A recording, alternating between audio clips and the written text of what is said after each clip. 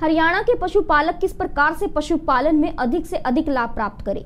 वहीं हरियाणा प्रदेश को भारत में ही नहीं, बल्कि दुनिया में दुग्ध उत्पादन में नंबर वन किस प्रकार से लाया जाएगा? इस विषय पर लुवास विश्वविद्यालय में पशुपालक गोष्ठी का आयोजन किया गया, जिसमें मुख्य अतिथि के तौर पर कृषि मंत्री ओपी धनखड़ ने शिरकत की।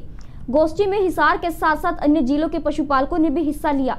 इस दौरान किसानों ने प्रदेश के कृषि मंत्री को पशुपालन विषय पर विस्तार से चर्चा की।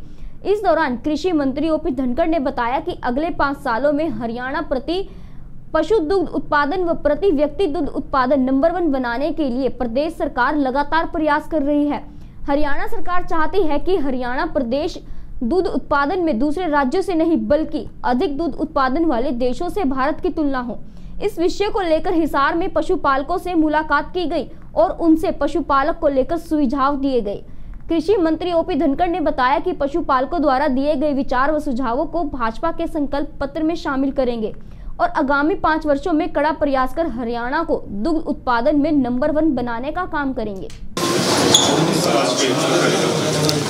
देखिए अगले पाँच सालों में हम हरियाणा को प्रति पशु दूध उत्पादन में और प्रति व्यक्ति दूध उत्पादन में नंबर वन बनाना चाहते हैं। हम ये चाहते हैं कि हरियाणा की तुलना अब भारत के राज्यों से नहीं, दुनिया के जो दूध उत्पादक देश हैं, न्यूजीलैंड है, ऑस्ट्रेलिया है, डेनमार्क है ऐसे देशों के साथ भारत की तुलना हो और उसी के लिए आज सारे पशुपालकों के बीच बैठ के उनके सुझाव सुनने के लिए आए थे कि अगले पाँच वर्षों में एक एक छोटी छोटी चीज़ कैसे आगे बढ़ाई जाए, कैसे हम वहाँ तक पहुँचे जो इस सपने को पूरा कर सकें। मुझे खुशी है कि सैकड़ों की संख्या में यहाँ पशुपालक आए थे। सब लोगों ने मेडिसन्स को लेकर, पशुओं की बीमारियों को लेकर, दूध के रेट को लेकर, टेक्नोलॉजी को लेकर और और भी बहुत सारे विषय चारे को लेकर मैं कहूँगा बकरियों को लेकर भी सुझाव दिए भेड़ बकरियों को लेकर भी आ, मैं सीमेन को लेकर भी सुझाव दिए। उन्होंने हर पहलू को छुआ है। और ये उनकी दी हुई जानकारी हमारे काम आएगी, जिसको भारतीय जनता पार्टी के जो संकल्प पत्र बनेगा उसमें शामिल करेंगे और अगले पाँच वर्षों में इस पर आगे बढ़ते हुए जो एक सपना लेकर चल रहे हैं कि हरियाणा प्रति पशु दूध उत्पादन और प्रति व्यक्ति दूध उत्पादन में नंबर वन बने, उसमें हम कामयाब होंगे।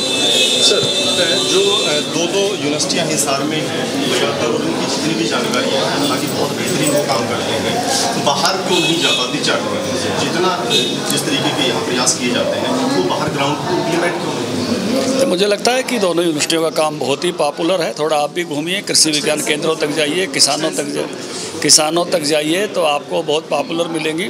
लोग इनकी चीज़ों को हमसे मांग करते रहते हैं कि यूनिवर्सिटी से हमको ये मिलना चाहिए, ये जानकारी मिलनी चाहिए, ये चीज़ें मिलनी चाहिए। और इनकी हर चीज़ पर हरियाणा के किसानों की निगाह रहती है।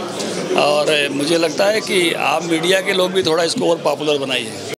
ऐसे ही लेटेस्ट खबरें पाने के लिए सब्सक्राइब बटन पर क्लिक कर बेल आइकन को दबाएँ।